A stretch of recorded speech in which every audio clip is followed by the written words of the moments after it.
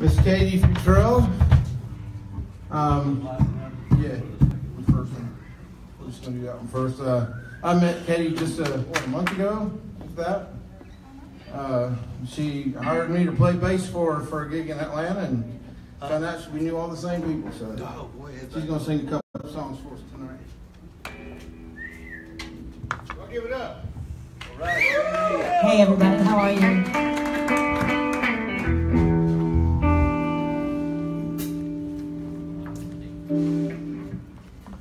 No